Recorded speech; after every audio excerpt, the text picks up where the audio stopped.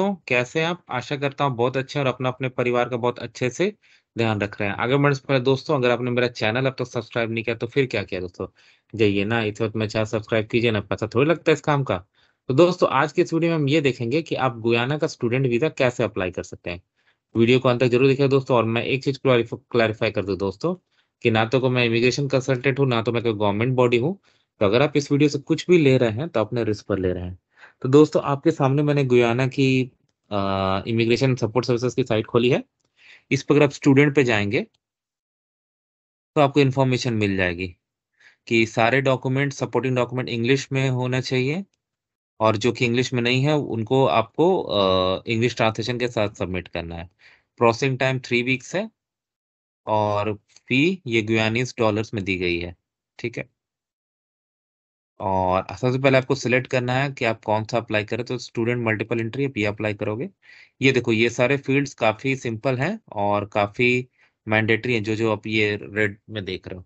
But मैं suggest करूँगा कि जो फील्ड्स मैंडेटरी नहीं है, उनको भी आप दे दो।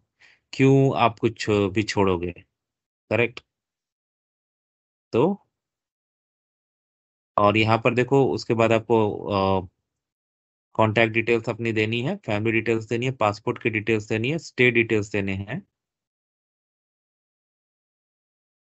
क्वालिफिकेशन की डिटेल्स देनी है, आप यहाँ पे एड रो करके डाल सकते हो। उसको एड्रो डाला, फिर आप उसको एडिट कर सकते हो। इस तरह से आप कर सकते हो। फिर यहाँ पर आपको अपने documents birth certificate school acceptance letter जहाँ भी आपका एडमिशन मिली है पासपोर्ट की फ़ोटो उसके अलावा और भी फील्ड्स हैं। Medical report plus financial support financial support आप ज़रूर डालो, क्योंकि स्टूडेंट वीज़ा में ये अक्सर मांगा जाता है। इंस्टीट्यूशन की डिटेल्स देखिए, यहाँ पर आपको दी गई है। फिर स्पॉन्सर की डिटेल जो जो आपके केस में एप्लीकेबल है, वो डालो लास्ट में आपको सर्टिफाई करनी है और वहाँ पे सबमिट करनी है। और उसके बाद अगर ग्रांट की जाए तो वो लोग आपको नेक्स्ट स्टेप भी बता देंगे।